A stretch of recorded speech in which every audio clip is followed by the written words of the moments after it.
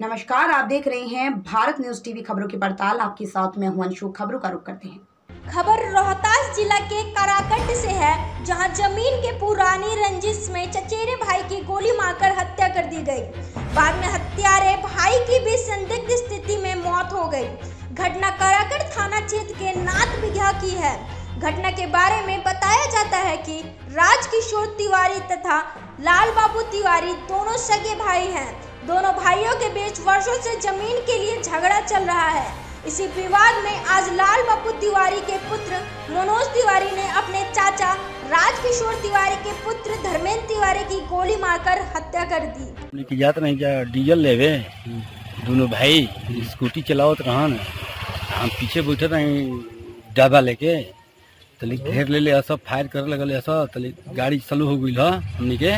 तो हम कूद के भागे लगनी, ह, तली तड़ाम तड़ाम दू फायर मार दिले ऐसा मनोज तिवारी आ सनोज तिवारी लालबाबू तिवारी आ क्या कहला ओकर लइका सोना तिवारी. ओकरा बाद का ओकरा बाद में हम भाग के आ फेन हम जो भाग गए से फायर करते न तो हम फेन ऐनी है ऐनी है तो धरनी है तो देखिए सब खून सब लागल बा छटपटा के मर गए अच्छा अच्छा के देख के जाना से के बारे में भाई है हमारा छोट हमारा। का नाम बाबू धर्मेंद्र तिवारी। का करत रहनी खेती की रहती अच्छा तो दुश्मनी बा का पहले से कुछ।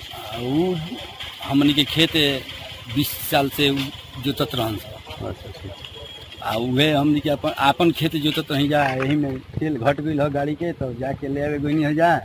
तो ये घटना कर दिले। कौन कौन लोग रहे? लाल बाबू तिवारी। कौन है? रिश्तेदार है कोई? ना चाचा हमार हाँ। आ भाई ह। सनोज तिवारी। अच्छा अच्छा अच्छा। मनोज चाचा के लड़का। और का नाम बा। हमार मनु तिवारी। कौन गाँव के घटना है ई? मेहे नाथा बिघा के। थाना कौन पड़ी?